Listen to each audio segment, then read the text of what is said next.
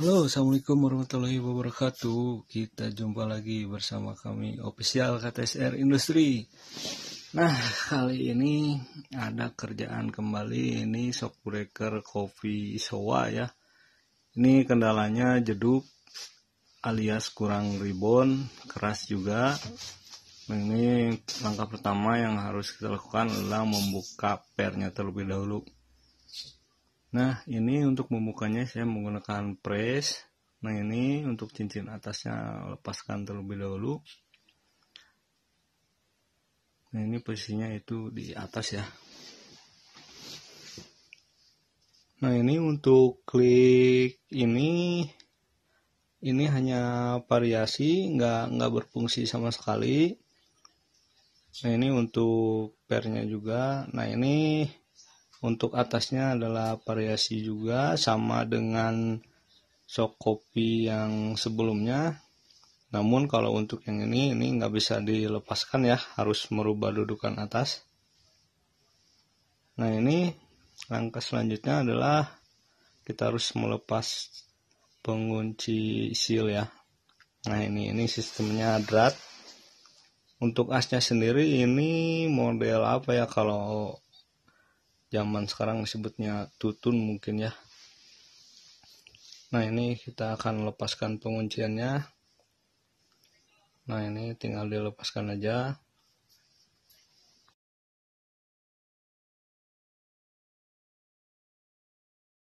Setelah terlepas ini terlihat seal dalamnya yang lumayan cukup berdebu padahal kata pemilik eh, shock breaker ini baru tiga minggu. Nah untuk membuka as shocknya ini dari tabungnya di press juga ya ditarik. Ini seperti ini ini mesin pressnya juga dibuat sendiri dengan alat alat bekas adanya. Yang penting berfungsi. Nah ini kita tarik aja untuk melepasnya nah ini perlahan-lahan nanti silnya membuka.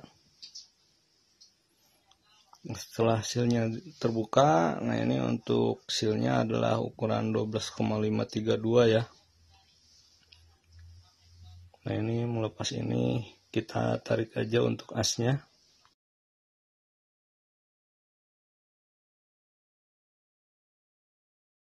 Teman-teman setelah terlepas ini untuk bagian ribbon dalamnya. Nah ini dia penyakit untuk jeduknya ini udah rusak ya padahal ini masih baru juga. Entah kenapa ini bisa kayak gini. Ini bagian yang rusak ini untuk menahan lajur oli ya biar enggak ngempos. Kalau ini rusak jadi si oli itu nggak ada tahanan atau tekanan dari bawah menuju atas ini olinya juga sudah berkurang. Ini kita tuang saja keluarkan.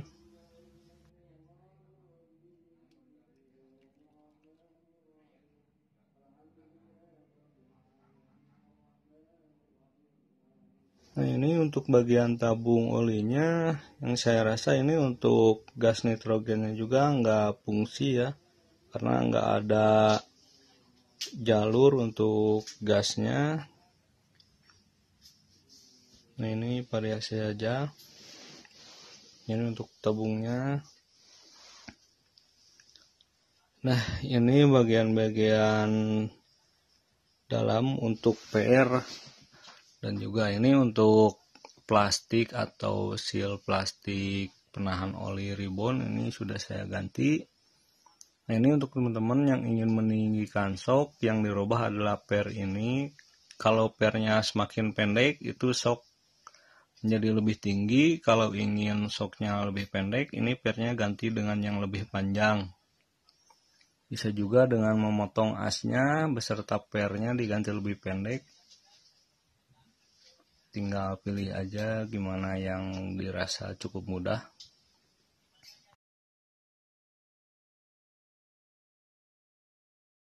ini ini untuk sistem kerja ribbonnya sendiri ini melewati lubang yang ada di bagian atas ini oli kemudian keluar dari dalam lubang yang ada ringnya ya. Nah ini ini untuk ribbon nanti lembat apa enggaknya. Nanti, kalau ingin ribbon lebih lambat itu dimodifikasi bagian-bagian hisap oli ininya ya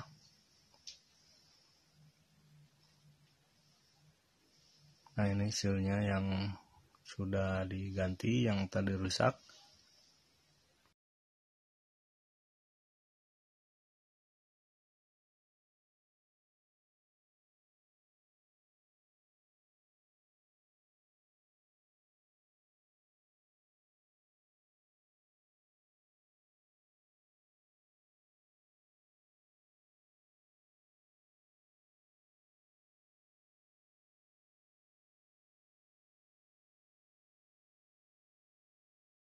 Oke teman-teman ini untuk tabung oli kita isi kembali ya dengan oli yang baru.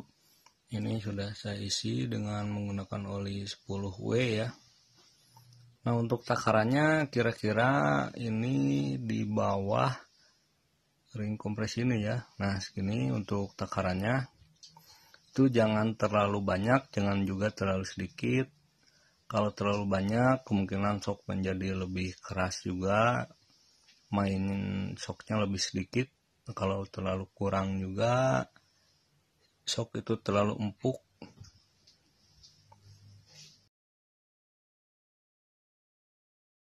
Setelah ditambahkan oleh yang baru ini tinggal kita tutup kembali rakit kembali.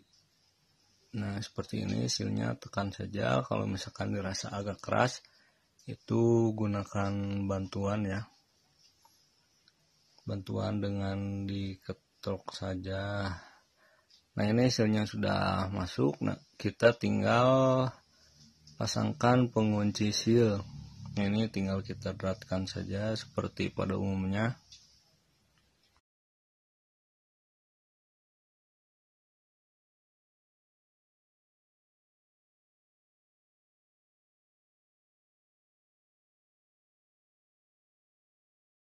setelah dirasa cukup kencang ini kita tes dulu ya sebelum pasang per nah ini untuk ribbonnya biasanya untuk ribbon segini dengan per besar itu ribbonnya enggak terlalu lambat jadi normal seperti standarnya. Nah ini ribbonnya sudah berfungsi kembali kemungkinan jeduk hilang. Apalagi di jalan-jalan yang terasa jelek biasanya sangat mengganggu kenyamanan dalam berkendara ya.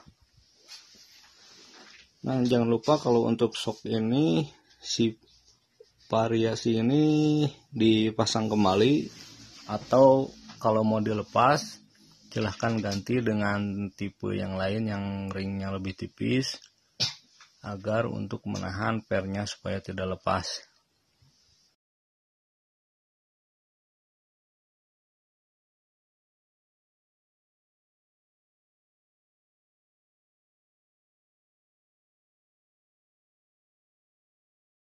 Nah kita pasangan pernya itu seperti ini. Jadi kalau nggak terpasang itu pernya amblas ya amblas ke bawah. Jadi kalau untuk sok ini ini akan dipasang kembali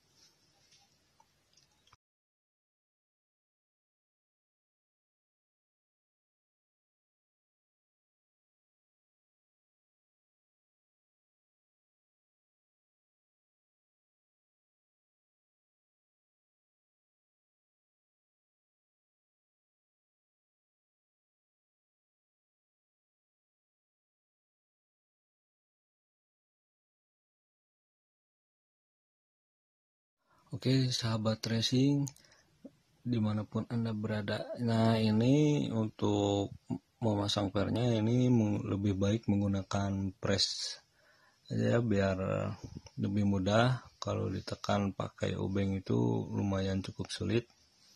Nah ini untuk cincin pengunciannya ini tinggal kita masukkan aja. Nah seperti ini. Kalau sudah terpasang kemudian kita kembalikan ke seperti semula. Nah seperti ini. Kita tinggal lepas saja. Ini saya rasa sudah siap digunakan kembali oleh pemakainya.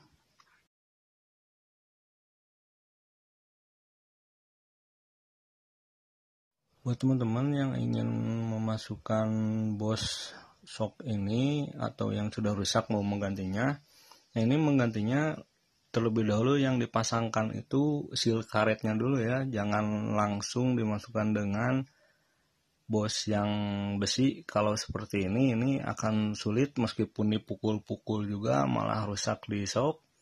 Jadi terlebih dahulu pasangkan dulu karetnya.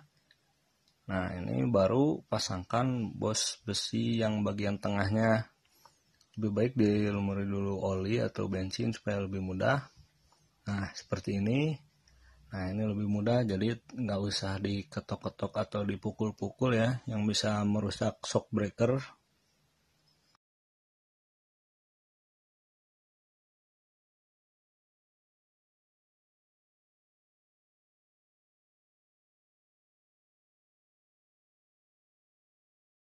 ini sekarang kita tes untuk ribbon shock dan kelembutannya. Nah ini saya rasa cukup untuk harian. Saya sarankan kalau untuk harian itu ribbonnya jangan terlalu lambat ya karena itu kalau ribbon terlalu lambat dirasa keras. Oke teman-teman Sekian dulu untuk video kali ini. Semoga bermanfaat. Jangan lupa setelah menonton tinggalkan jejak dengan cara like, comment, share, dan subscribe. Terima kasih.